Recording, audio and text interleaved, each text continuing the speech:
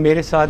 मेरी पूरी कमेटी के मेम्बरान थे और काफ़ी हेल्दी डिस्कशंस हुए हैं हमारे वहाँ पे और काफ़ी स्ट्रॉन्ग डिसीशंस भी हुए हैं। और क्योंकि हमने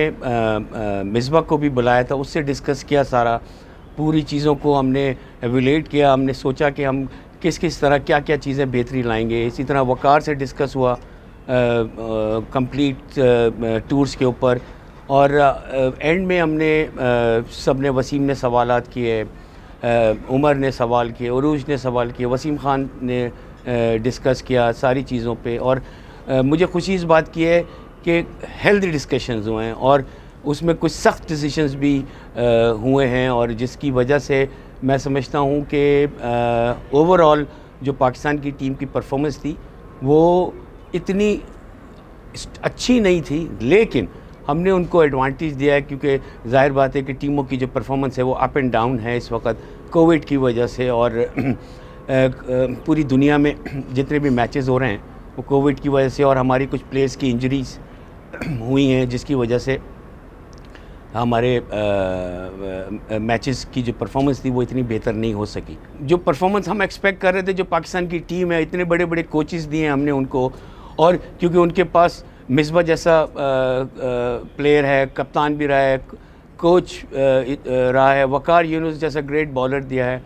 यूनुस जैसा ग्रेट बैट्समैन दिया है तो वजह क्या है? वी वांट परफॉर्मेंस क्योंकि हमसे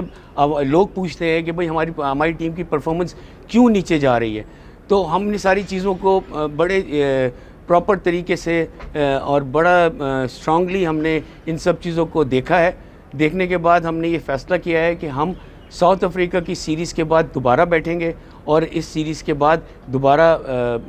इनको बुलाएँगे और रिव्यू करेंगे and then we decide what to do बड़ी इंपॉर्टेंट चीज़ क्या है कि हमारी जो वुमेंस टीम है अभी साउथ अफ्रीका गई है और काफ़ी क्या कहते हैं इम्प्रूवमेंट है उसके अंदर और आ,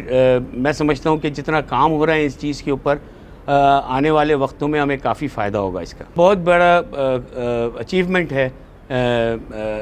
पीसीबी का। कि इतने मुश्किल हालात के अंदर और इतना क्योंकि जो कोविड के अंदर, जो बबल्स के अंदर लड़कों को रहना, ठहराना, सारा इंतज़ाम करना और इतनी ज़्यादा मैचेस कराना, चार महीने हमारे ये मैचेस हुए हैं और एक शिकायत नहीं आई और बहुत ही अच्छी तरीके से मैं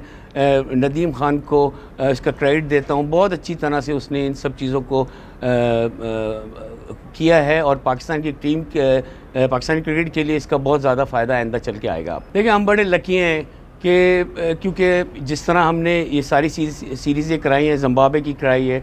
और ये जो हमारे डोमेस्टिक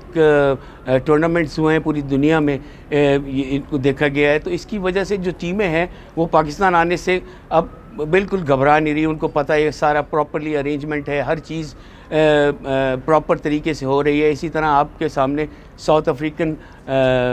पाकिस्तान आ रहे हैं और जो आने वाला जो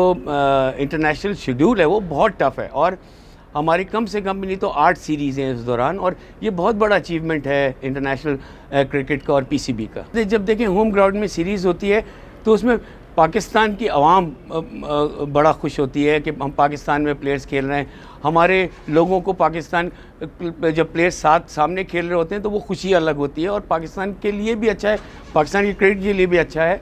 कि पाकिस्तान में क्रिकेट हो और प्लेयर्स जाएँ और ये बहुत बड़ा अचीवमेंट है। सीरियसली क्योंकि आप देख रहे हैं पूरी दुनिया के अंदर, इन मुश्किल हालात के अंदर पाकिस्तान एक वाइड जगह है जहाँ पर इतने ज़्यादा मैचेस हो रहे हैं और this a very good sign for Pakistan cricket and Pakistan players main चीज़ ये होती है कि अभी तक जितने भी मैचेस थे अवे मैचेस हो रहे थे, जो शारजा अबू धाबी में मैचेस हो रहे थे, जब पाकिस्तान में मैचेस होते हैं अपनी